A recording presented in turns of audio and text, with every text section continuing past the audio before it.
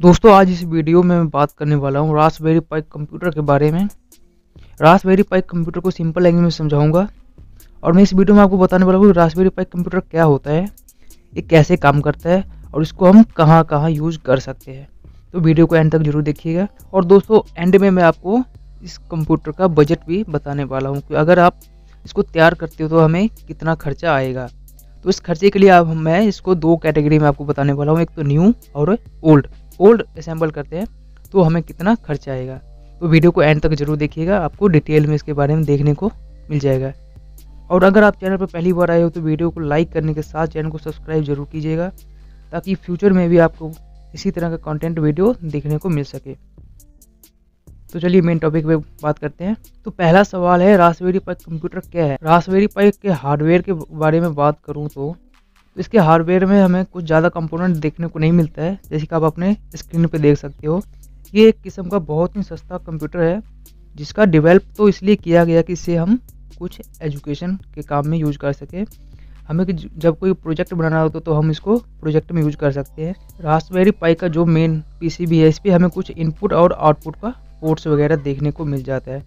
तो मैं एक एक करके आपको इसके पोर्ट्स के बारे में बता देता हूँ। सबसे पहले आप देख सकते हो यहाँ पर हमें एक पावर इनपुट का पोर्ट मिल जाता है, जिसके थ्रू हम इसको पावर देते हैं। उसके बाद यहाँ पर हमें डिस्प्ले आउटपुट का पोर्ट मिल जाता है। इस, यहाँ पर आप देख सकते हो, यहाँ पर हमें मिनी एचडीएमए का दो आउटपुट पोर्ट्स दिया गया है। मतलब आप इसमें एक समय में दो डिस्प्ले को अटैच कर सकते हो। उसके बाद एक हेडफोन जैक दिया गया है। दोस्तों, ये जो हेडफोन जैक है, इसमें हमें ऑडियो वीडियो दोनों का सपोर्ट मिल जाता है। उसके बाद यूएसबी पोर्ट्स देख सकते हो इथरनेट पोर्ट्स देख सकते हो और यहाँ पे G P G P I O pins भी मिल जाता है। अब हम इसके स्टोरेज के बारे में बात करेंगे तो यहाँ पे हमें रैम देखने को मिल जाता है जो कि हमें एक जी का भी हो सकता है, दो जी और चार जी का यहाँ पर अवेलेबल हो जाता है। और यहाँ पे प्रोसेसर दिया गया है। तो ये तो हमारा मेन रासबेरी पाई का चिपसेट दिया गया है। तो दोस्तों, इन सिंपल लैंग्वेज में अगर मैं बताऊँ तो आप इसको कंप्यूटर तो बना ही सकते हो। उसके अलावा बहुत सारे प्रोजेक्ट में भी इसको यूज़ कर सकते हो। जैसे कि आप देख सकते हो फ़र्स्ट नंबर पर आप इसको कंप्यूटर की तरह यूज़ कर सकते हो।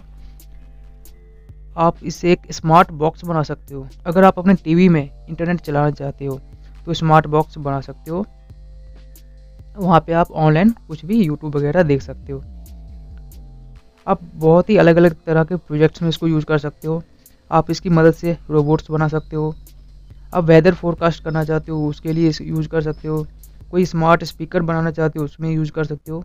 और इसी तरह आप और भी प्रोजेक्ट्स में इसको यूज़ कर सकते हो।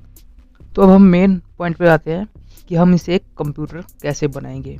मेन हमारा ये टॉपिक यही है कि आज हम इसके रासबेरी पाई से एक कंप्यूटर कैसे बनाएँगे।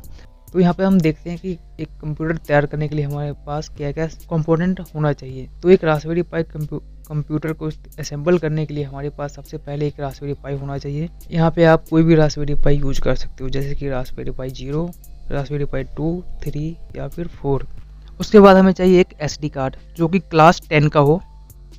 आप लोकल एसडी कार्ड इसमें यूज़ मत कीजिएगा, नहीं तो ख़राब हो सकता है।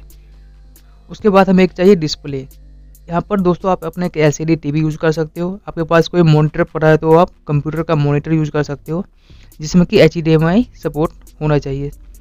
उसके बाद आपको चाहिए कीबोर्ड और माउस यहाँ पर आप कोई भी कीबोर्ड माउस यूज़ कर सकते हो।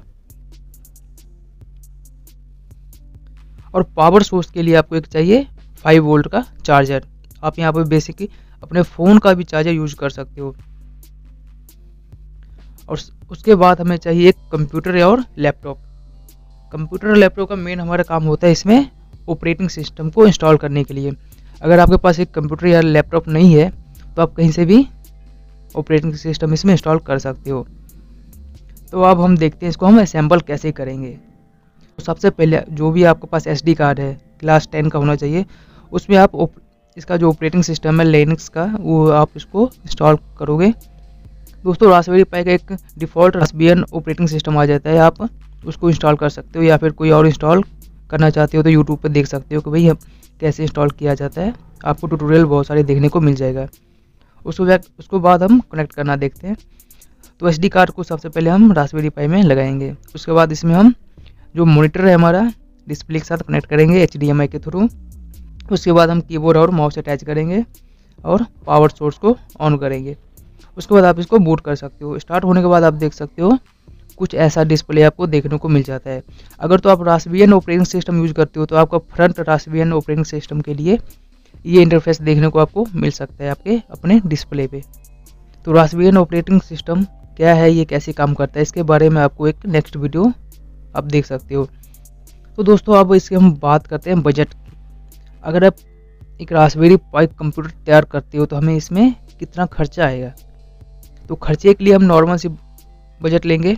आप इसमें कुछ न्यू कंपोनेंट भी यूज़ कर सकते हो और सेकेंड हैंड या फिर ओल्ड भी यूज़ कर सकते हो। जैसे कि, अगर तो आपको रासबेरी पाई कोई सेकेंड हैंड मिलता है तो आप second hand raspberry pi use कर सकते हो। अब बात करें सेकेंड हैंड रासबेरी पाई कहाँ से मिलेगा तो दोस्तों आप ओ एल एक्स पे या फिर क्विकर पे second hand raspberry pi search कर सकते हो। अगर हम न्यू रासबेरी पाई की बात करें तो ये हमें तीन हज़ार से स्टार्टिंग हो जाता है। अगर आप रासबेरी पाई ज़ीरो लेते हो तो आप सर्च कर सकते हो इसकी प्राइस कितना है। रासबेरी पाई टू का प्राइस कितना है? रासबेरी पाई थ्री का प्राइस कितना है? और अब तो रासबेरी पाई फोर आ चुका है। रासबेरी पाई फोर का भी प्राइस देख सकते हो आप अपने डिस्प्ले पे। ये सब न्यू की प्राइस अगर आप ओल्ड की लेते हो तो आपको 1500 से 2000 या फिर 3000 में आपको ओल्ड रासबेरी पाई देखने को मिल जाता है। उसके बाद मोनीटर की बात करें। मोनीटर आप न्यू ले सकते हो।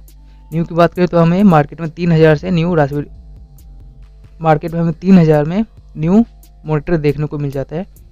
और आप अपने लोकल एरिया में कोई सेकेंड हैंड मोनीटर भी परचेज कर सकते हो। और कीबोर्ड माउस की बात करूँ तो ये आपको 300 से 400 में पूरा सेट मिल जाता है। आप वैसे ही लोकल कोई कीबोर्ड माउस ले सकते हो। तो अगर हम बजट की बात करें तो हमें अगर न्यू बजट देखें तो हमें छः से सात हज़ार एक कंप्यूटर रेडी करने में लग जाता है। अगर हम ओल्ड कंपोनेंट यूज़ करते हैं तो हमें ये चार हज़ार तक पूरा सेट मिल सकता है। तो ये आप पे डिपेंड अगर आप न्यू चाहते हो तो न्यू ले सकते हो और ओल्ड चाहते हो तो ओल्ड भी तैयार कर सकते हो। तो दोस्तों, आज की इस वीडियो में इतना ही। उम्मीद करता हूँ आपको ये कंटेंट और वीडियो अच्छी लगी हो। अच्छी लगी हो तो एक लाइक ज़रूर करके जाइएगा और चैनल को सब्सक्राइब ज़रूर कीजिएगा। तो दोस्तों, आज इस वीडियो में इतना ही। मिलते हैं अगले वीडियो में।